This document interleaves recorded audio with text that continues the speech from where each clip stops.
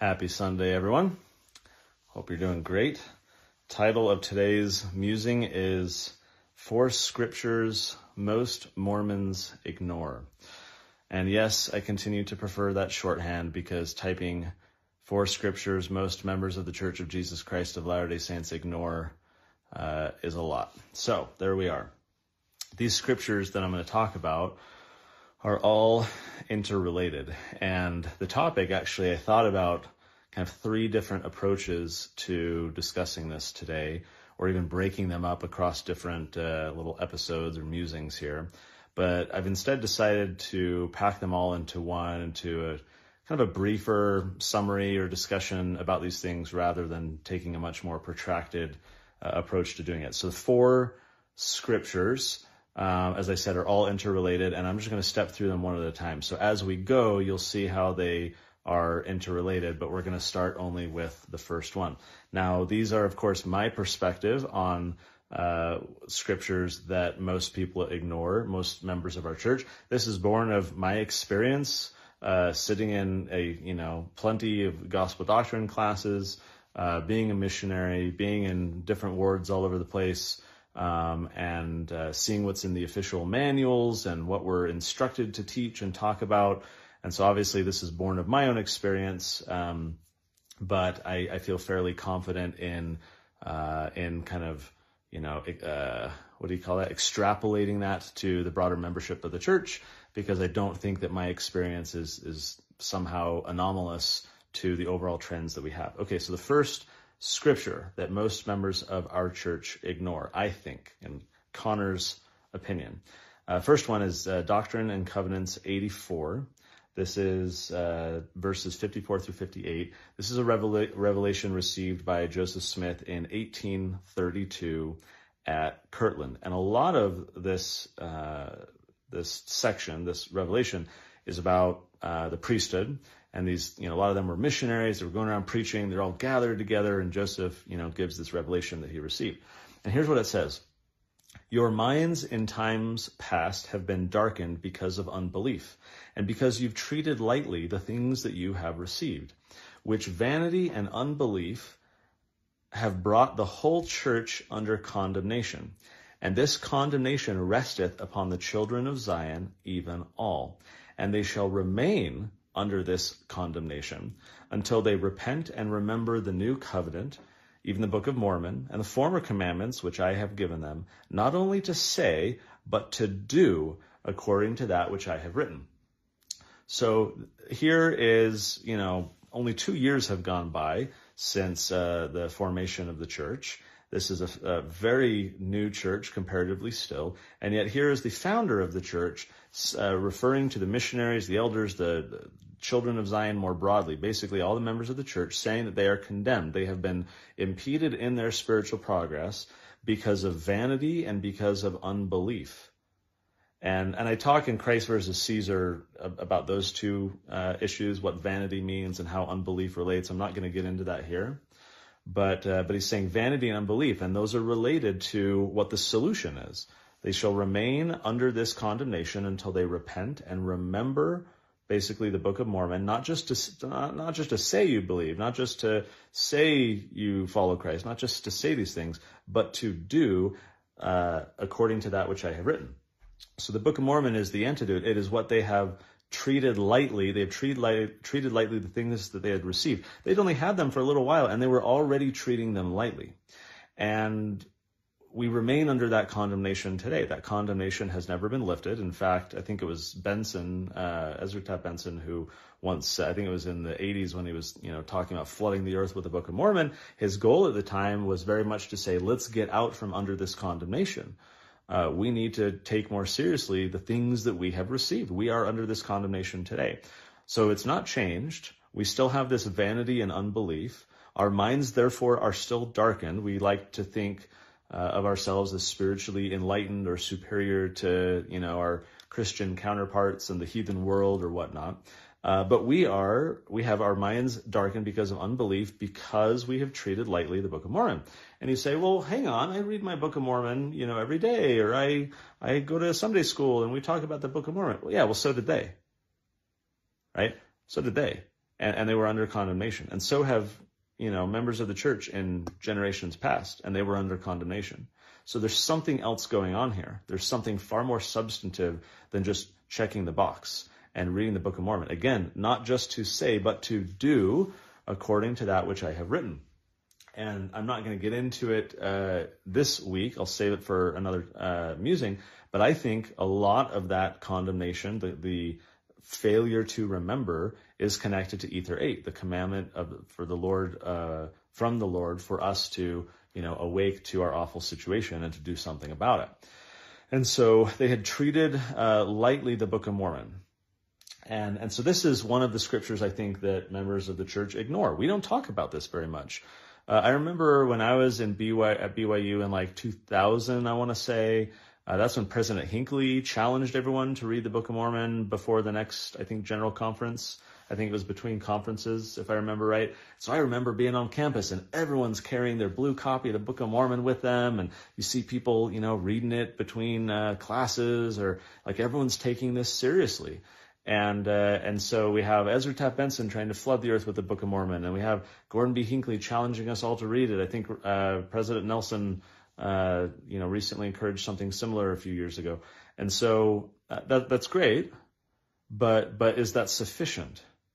Because reading it is and and and focusing on the spiritual benefits and the um, teachings of Jesus are one thing, and a very important, if not the most important thing but there is kind of the forgotten secondary focus and focal point of the Book of Mormon, which is kind of this warning manual about what we should not be doing, who we should not be supporting, that we need to come out of Babylon and not be in the church of the devil. And I'll talk in another musing about what that church of the devil uh, really means. Um, but but it's not enough to just focus on the good stuff. We need to focus on what we're doing wrong, because we have uh, we we have received all manner of unrighteousness. What uh, I was just reading this morning at church that scripture. I think it's in D&C one, if I remember. I could be remembering that wrong, but it's talking about. Uh, oh, it's in was it Fourth Nephi? Um, that's what it was. It was in Fourth Nephi, and it's talking about that there's all these like schisms happening and everything, and so here it is. Uh, this is 4th Nephi 127. It came to pass that when 210 years had passed away, there were many churches in the land. Yea, there were many churches which professed to know the Christ, and yet they did deny the more parts of the gospel, insomuch that they did receive all manner of wickedness. And so we like to read that and think, oh, that applies to all those other, you know, churches other than ours. I'm not entirely sure that that's true. And, and I think that those of us within the Church of Jesus Christ of Latter-day Saints, we deny the more parts of the gospel. We like to think that we have the restored gospel. We do not. We have a partially restored gospel, but we do not have capital the, capital restored, capital G gospel, right? We have some restoration. We do not have the restoration. And, and so I think we have denied more parts of the gospel. We have denied ourselves. It's not that, that, that we're going out and like, you know, like Peter denying Christ or others. We're not denying that these, we're not claiming that things are bad or wrong. We're denying ourselves the more parts of the gospel. We're ignoring the more, more parts of the gospel. And I'll get into that in the second scripture that I think most members of our church ignore. And so here are these people, these, these professed followers of Christ, denying the more parts of his gospel insomuch that they did receive all manner of wickedness. That's a very interesting way of saying it, to receive.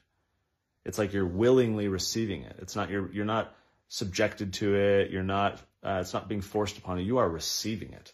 You're asking for it. You're embracing it.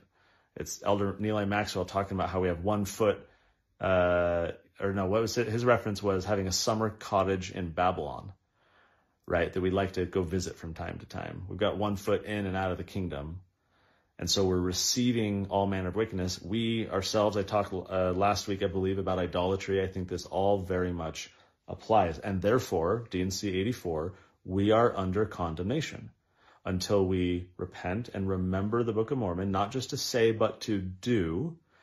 And so we look around and, you know, it's like, oh, everything, you know, we'll just read our Book of Mormon, be good people. That's not enough. We are condemned. Plenty of good scripture reading, temple going members of the church in generations uh, past did their best. They, or maybe, we like to say we're doing our best, but are we? They, they checked boxes, they read their scriptures and so forth, but they were still under condemnation. And so are we. And so I guess my purpose for sharing this first scripture that most Mormons ignore is that we don't really talk about that at all. We're ignoring it. We can't fix it if we don't pay attention to it. It's like we're ignoring the leaky roof, thinking, pretending it just isn't leaky. You know, we're going to pay a price at some point, but we're completely ignoring, for those joining late, it's D&C 84, 54 through 58. And so I, I don't think we should ignore that. I think we need to focus on, I mean, so I didn't read 58. Here's the final verse. So not only to say, but to do according to that which is written, that they may bring forth fruit meet for their father's kingdom. Otherwise there remaineth a scourge and judgment to be poured out upon the children of Zion. That's the situation we're in. We like to think that, oh, Heavenly Father is so pleased with us and we're paying our tithing and we're you know, going to the temple and yay, pat ourselves on the back. We're good Mormons. We're good Christians. And yet here it's talking about a judgment being poured out upon us because we are under condemnation and we are not repenting and remembering the new covenant. We're not doing what the Book of Mormon says. There's a lot of stuff in there that we're ignoring. We're focusing on the easy stuff. We're doing great at the easy stuff, but we're conveniently not paying attention to some of the things that challenge us and some of the things that would be anti-cultural, counter-cultural. Why? Because we want to fit in. We want to be liked. We want everyone to like us. We don't want to rock the boat. We don't want to be outcasts and a peculiar people. So let's just not even talk about as a church some of these other things that would be too controversial. So that's scripture number one. And as I said, these are all interrelated. So scripture number two is not that far afield from what we're talking about. 3 Nephi 26, 7 through 11. This is about the sealed portion of the plates. It's really interesting talking to members of our church who had no clue that there are there there are there were golden plates that Joseph Smith could not translate. That there was a sealed portion he was unable to access and translate and provide to us. That he was forbidden. That there are scriptures out there that we don't even know about. So 3 Nephi 26, 7 through 11. This is um, Jesus talking. This is after, you know, during his visit to, to this continent. So 26, verse 7 through 11. Um, oh, and this, this is, I guess, Mormon's summary. So I'll start in verse 6, because here's where Mormon is saying, Now there cannot be written in this book even a hundredth part of the things which Jesus did truly teach unto the people. So Mormon is here narrating. But behold, he says, the plates of Nephi do contain the more part of the things which he taught the people. And these things have I written, which are a lesser part of the things which he taught the people. And I have written them to the intent that they may be brought again unto this people from the Gentiles, that's us, or the Gentiles, according to the words which Jesus hath spoken. So Mormon's saying, I'm, I'm writing down the lesser things so that the Gentiles can take it to, to my people in the future. And when they shall have received this, which is expedient that they should have first to try their faith. And if it shall so be that they shall believe these things, then shall the greater things be made manifest unto them.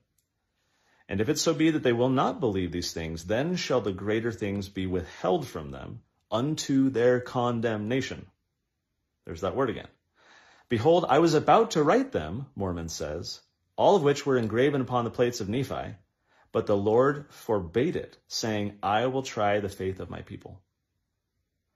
So we've got lesser things and we've got greater things. And Mormon is here telling us that in his record, he is only providing us the lesser things. That the Lord wanted to try our faith, not just faith in terms of belief, but faith in terms of obedience and action. Remember, not just to say, but to do, according to that which is written. So the Lord wanted to try our faith by giving us lesser things first. And if we would believe the lesser things, and again, belief implies action, behavioral change, then shall the greater things be made manifest unto them. Now, this is very related to Ether 4. uh, so here is Moroni, Mormon's son. Mormon's dead. Moroni is adding the the book we call Ether, the Jaredite record, to the end of Mormon's uh, record. Okay, Mormon's compendium of his summary of all of these different Nephi records. So Mormon does this thing, he passes on. Here's Moroni with the Jaredite record, and he says, This is so important, we have to add this to my father's record. So here's Moroni now, and he says, So he's doing the whole Jaredite record. Behold, this is verse 4, Ether 4 4. Behold, I have written upon these plates the very things which the brother of Jared saw, and there never were greater things made manifest than those which were made manifest unto the brother of Jared. Wherefore, verse 5, the Lord hath commanded me to write them, and I have written them. And he commanded me that I should seal them up. And he also commanded me that I should seal up the interpretation thereof. Wherefore I have sealed up the interpreters according to the commandment of the Lord. For the Lord said unto me, They shall not go forth unto the Gentiles, that's us, until the day that they shall repent of their iniquity and become clean before the Lord. Verse 7 And in that day that they shall exercise faith in me, saith the Lord, even as the brother of Jared did, that they may become sanctified in me, then will I manifest unto them the things which the brother of Jared saw, even to the unfolding unto them all my revelations, saith Jesus Christ, the Son of God the Father of heavens and the earth, and all things that in them are. And then here's what it says a few verses down. This is Jesus talking now. He says, Come unto me, O ye Gentiles, again, that's us, and I will show unto you the greater things, the knowledge which is hid up because of unbelief. Come unto me, O ye house of Israel, and it shall be made manifest unto you how great the thing, how great things the Father hath laid up for you from the foundation of the world, and it hath not come unto you because of unbelief. And then final verse. Behold, when ye shall rend that veil of unbelief, which doth cause you to remain in your awful state of wickedness, and hardness of heart and blindness of mind, then shall the great and marvelous things which have been hid up from the foundation of the world come on uh, foundation of the world from you, Yea, when ye shall call upon the Father in my name with a broken heart and a contrite spirit, then shall ye know that the Father has remembered the covenant which he made unto your fathers, O house of Israel. Okay, so all of this is saying that the brother Jared had this amazing vision. Like, like a vision of all the things.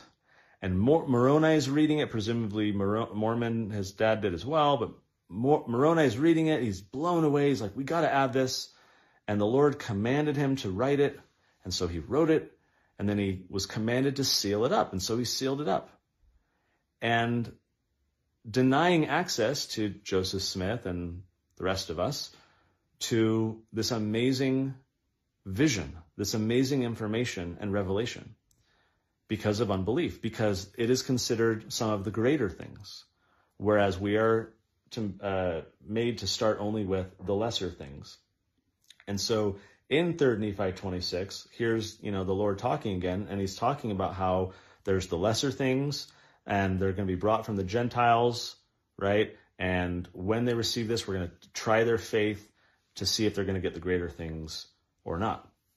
So again, sure, we all read the Book of Mormon, great. We read through this, and maybe we, you know, have a minute of conversation about it as we move on to the next chapter in 27 But we don't really pay it much attention. We don't talk about the sealed portion of the Book of Mormon. Cleon Skousen had this great essay decades ago called, uh, it was called, Do You Really Want the Rest of the Book of Mormon? And he goes over a lot of this stuff in there. Do you really want the rest of the Book of Mormon? And he, so he's trying to say like, why aren't we talking about this? Do we even want this? Do we even know it exists? Do we care?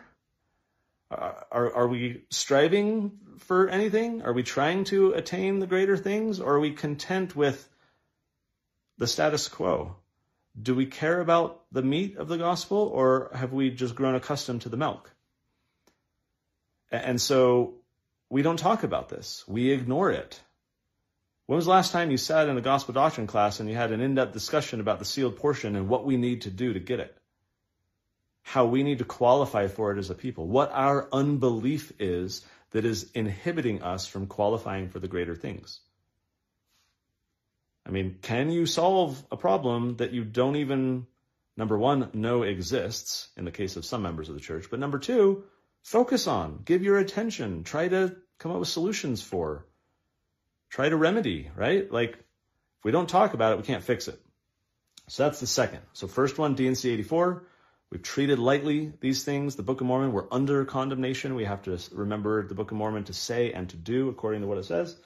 The second scripture that most Mormons ignore, 3rd Nephi uh, 26, 7 through 11. We just read that.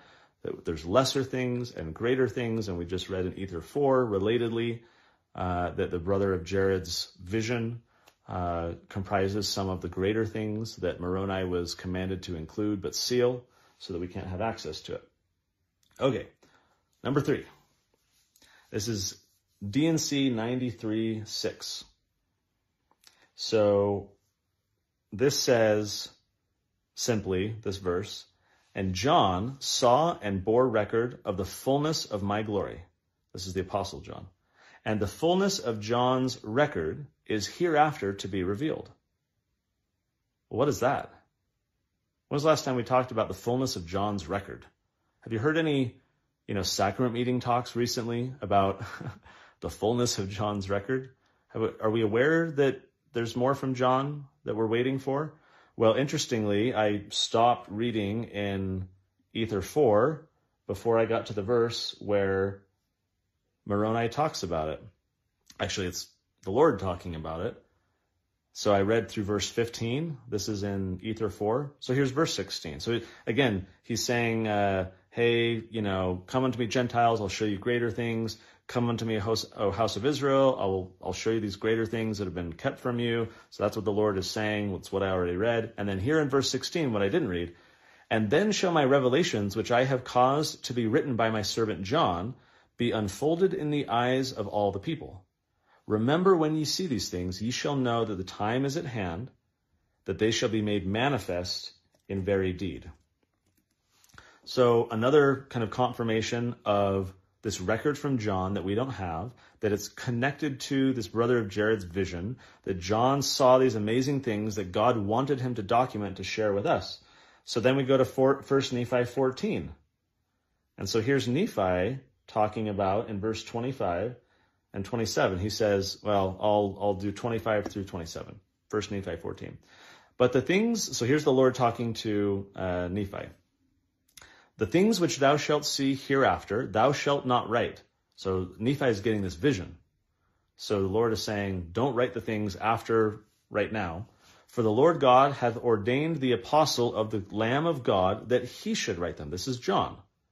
God has ordained John that he should write these things. And also others who have been. To them hath he shown all things, brother of Jared, among others, presumably, and they have written them, and they are sealed up to come forth in their purity, according to the truth which is in the Lamb, in the own due time of the Lord unto the house of Israel. And I, Nephi, heard and bear record that the name of the apostle of the Lamb was John, according to the word of the angel. So we've got this amazing vision from John, this amazing vision from the brother of Jared, perhaps others as well. It's in the sealed portion where it's it's the fullness of John's record. It, it's there for the taking, it, it's there for the receiving, I guess we can say. But are we even asking for it? Uh, do, do we think about it? Do we care? Do we like, again, so we're under this condemnation and like everyone's kind of okay with that. And we just have this like benign, low level, uh, adherence to the primary answers of the gospel as if those were ever sufficient. We all talk in you know, our classes, all, oh, it's the primary answers. We got to read and we got to, you know, pray and we got to, you know, pay our tithing and all these things. And yes, absolutely, but yes and, right? Because the primary answers are insufficient to get us out from under condemnation. Primary answers have been part of this, the supposed solution for generations past of saints who were condemned, as are we. And so it's got to be more than that. But how do we figure out what that is and how do we work on it if we don't talk about it? So that's scripture number three, John's record, which relates to and leads us to number four. Sorry, my allergies are flaring up today. Second Nephi 28, 21. Now we're familiar with this verse, but I think we apply it to others instead of ourselves. And especially in this context of what I'm calling interrelated scriptures I've shared about the Book of Mormon and condemnation and the sealed portion and all these things. Here we are in 2 Nephi 28 21, where it says, And others will the adversary pacify and lull them away into carnal security, that they will say, All is well in Zion. Yea, Zion prospereth, all is well. And thus the devil cheateth their souls and leadeth them away carefully down to hell. We apply to others that which is uncomfortable to apply to ourselves. I don't think most members of the church, when they read this verse, think that it applies to them. But I think it does, including myself. I'm, I'm not standing on a Rameumptom here. I struggle with this too. But the point is, at least, like, it's one thing to struggle. It's, it's another thing to ignore.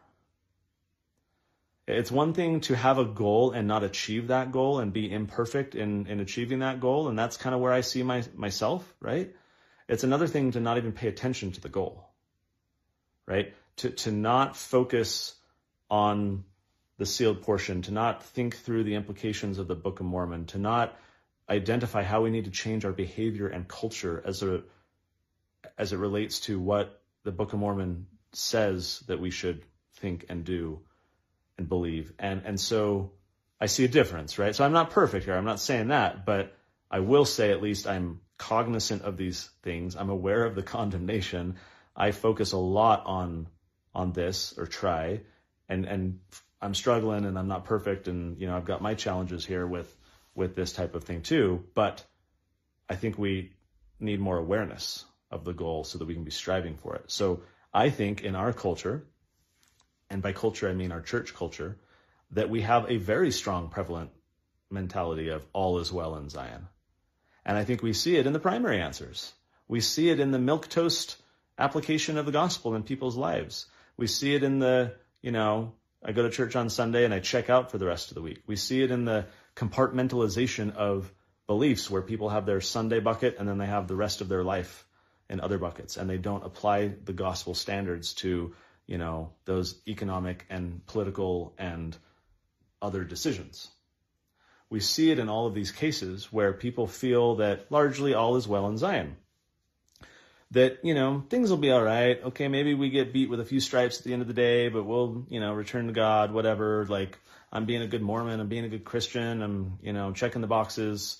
I'm a good person. I'm not, you know, sleeping around or committing adultery or, or committing murder or anything. So I'm, I'm good.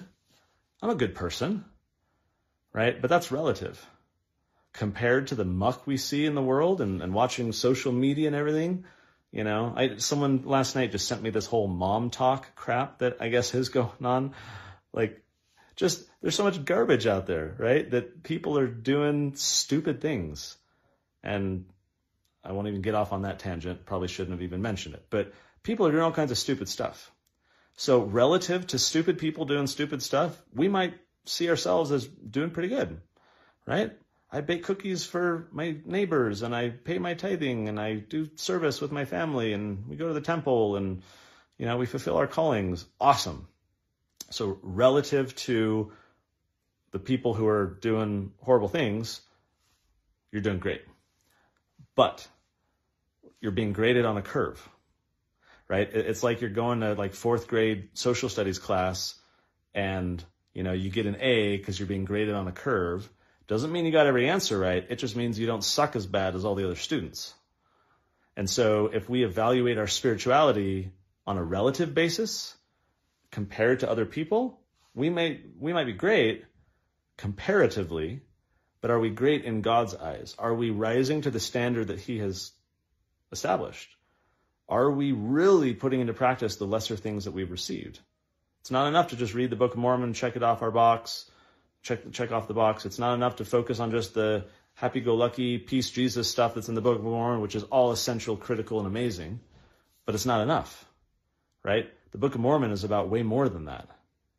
And the Lord has been warning us about how to not repeat the mistakes of two fallen societies right? The Nephite Society and the Jaredite Society. President Hinckley had that great quote about the Book of Mormon being more inspired and inspiring than the morning newspaper and describing the, the lasciviousness and the heavy taxation and the political corruption and the secret combinations and all of these things that happen in both of these societies. And so we get to Ether 8 and Moroni is literally screaming from the pages saying, God is commanding you to wake up, to not let this happen to you to prevent it, to awaken to your awful situation, to see these things happening and do something about it. Are we? And, and that's a weird question because, like, maybe you are and you feel like, great, good for you. But I'm referring to the collective we, you know, in our church. And I don't think the institution or the culture is, is encouraging this analysis of these scriptures. Our, our, you know, come follow me manuals and our primary manuals and our at home learning and all these things are covering so many important things in scripture. But I don't think that they're pointing us to these. And so it's, it's like we as a church have become acclimatized to and comfortable with our condemnation. We're, we're okay. We're fine. All is well in Zion. We're good. We got the lesser things we got the restored gospel, lowercase r, lowercase g, right? But that's enough because it's more than others got. We, we've got more revelation than they do. We're good. And, and we basically rejected the fullness. We've, we've denied the more part of the gospel. We have become what it talks about in 4th Nephi 1 right? Many churches which profess to know the Christ, and yet they deny the more parts of his gospel, insomuch that they did receive all manner of wickedness openly, willingly. I love our church. I love the church leaders. They are good people that mean well. This is not an indictment of any one person or of church leadership more broadly. It's an indictment of us, right? Church leaders, in many cases, are the byproduct of the membership in which they were encultured and raised over the generations. Our modern church leaders have grown up under this condemnation, right? They've grown up in a church culture that doesn't talk about it, that, that sweeps it under the rug and says, no, all is well. Don't focus on the sealed portion stuff and don't focus on our condemnation. Let's focus on the things that'll be pleasing unto us. Let, us let's, let's heap unto our ears, you know, teachers that will profess that we're doing good things. And so that's our culture. And I think that's a problem. And I think, therefore, that we are denying the more parts of his gospel, so much that we receive all manner of wickedness, as evidenced by last week's musing on idolatry.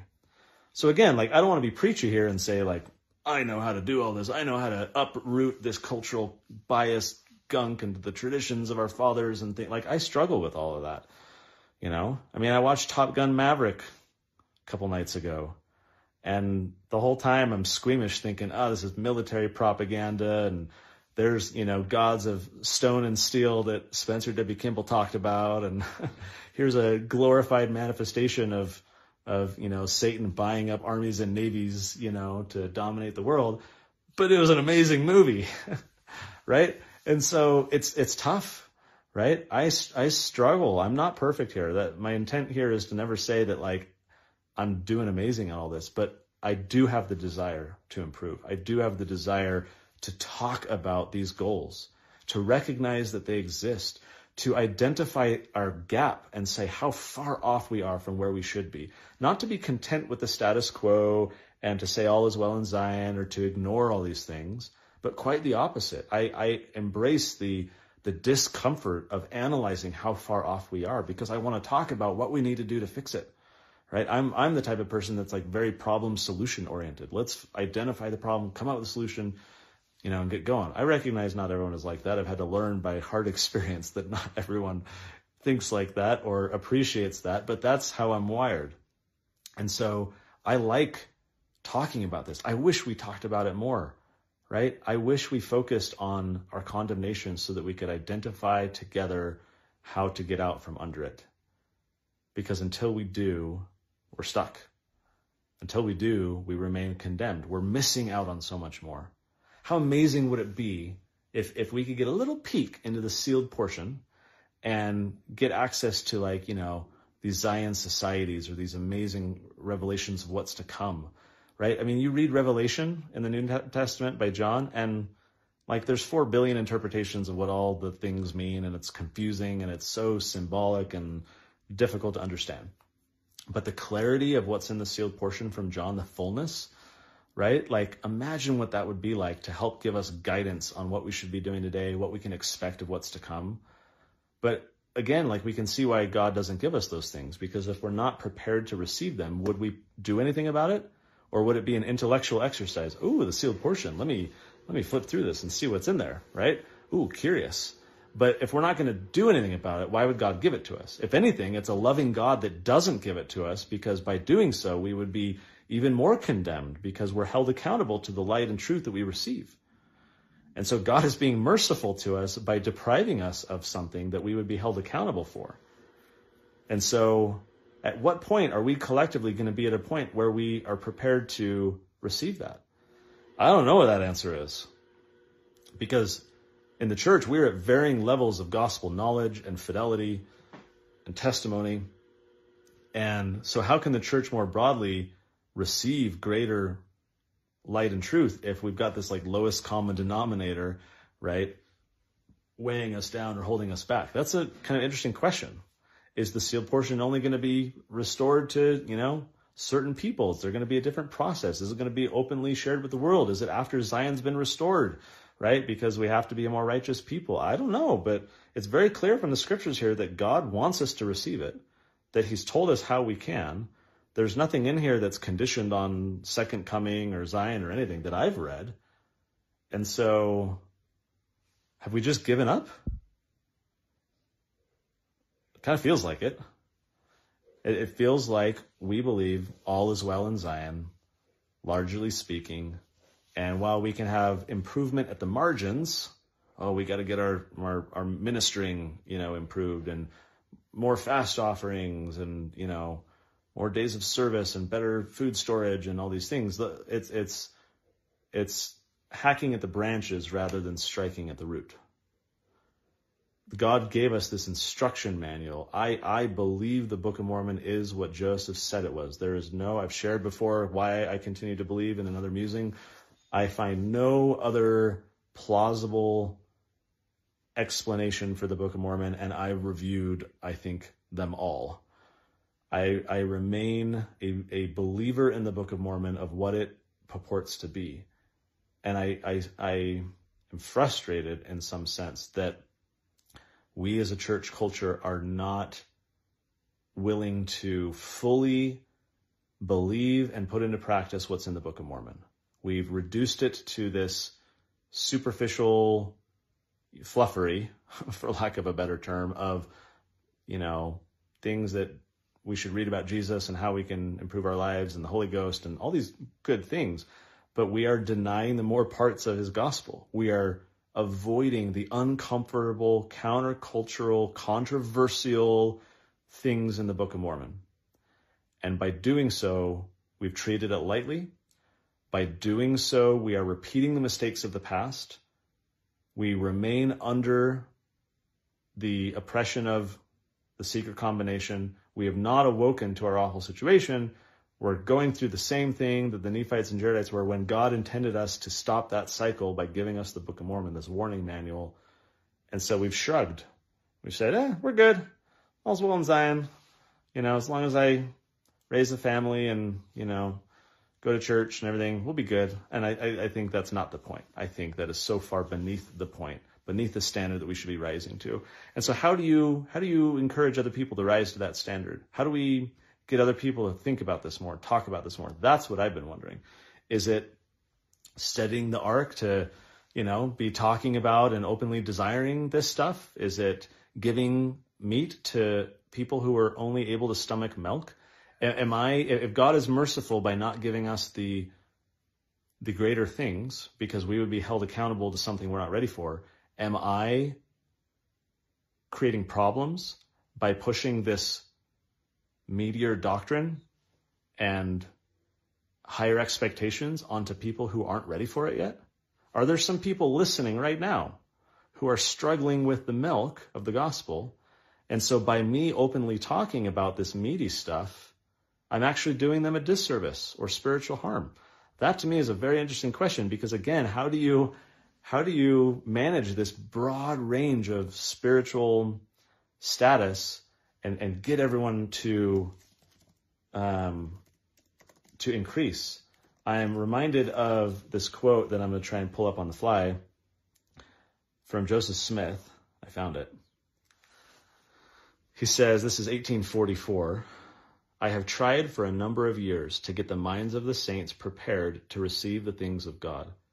But we frequently see some of them, after suffering all that they have for the work of God, will fly to pieces like glass as soon as anything comes that is contrary to their traditions. They cannot stand the fire at all. How many will be able to abide a celestial law and go through and receive their exaltation? I'm unable to say, as many are called, but few are chosen. Here's Joseph with all these revelations, trying to get the saints to seek and desire and live according to more. And yet he says that as soon as anything comes that's contrary to their traditions, they will fly to pieces like glass. Are we in a better state than the early saints were? I don't think so. I think we've got way more contrary traditions. I think we have way more idolatry today. And so we're kind of in this lull. I don't know the right word for it. We're in this this this funk, this spiritual funk as a church. We're we're content with and uh, the the the status quo. We're content with the lesser things, and we don't even acknowledge or discuss the existence of and how to obtain the greater things. I think that needs to change. I'm not the one to to do that. I don't know who is. Maybe I am. Maybe we are all of us. You know, be the change you wish to see in the world right? Maybe it's we gotta openly talk about this stuff more. We gotta have deeper gospel doctrine discussions. Let's let's get a bit more meaty. Let's help the the the people on the milk and lift them up. Like I don't know how to do all that, but it's something I'm thinking about because these four sections of scripture I think are completely ignored almost entirely.